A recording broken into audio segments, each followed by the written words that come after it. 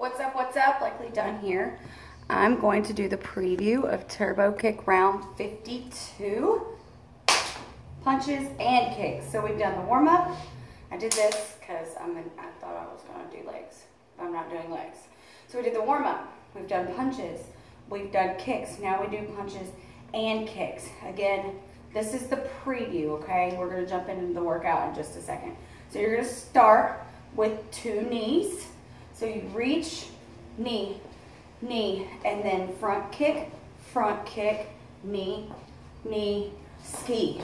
Three, four, knees, front kicks, knees, and ski for four, three, two, one. Okay, so that's the first layer. Then, after we do that for a while, we add on, we're gonna turn, and you're gonna do a triple jab cross.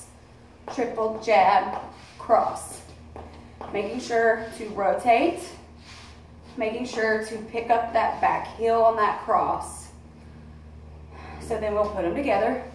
Knee, front kicks, knees, ski for four, triple.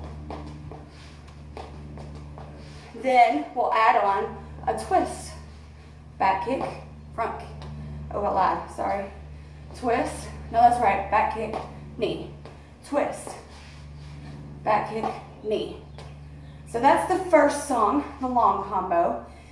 Then we'll move into the B combo, which is ski. You ski one, two, three, knee. Or march. Then we add in the running man, which I can't do if I haven't skied. Okay, run, run. I'm crunching that core.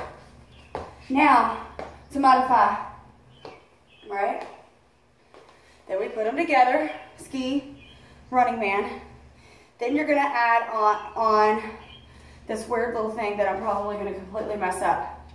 Where you march, one, two, three. Back kick, front kick, back kick, march. One, two, three.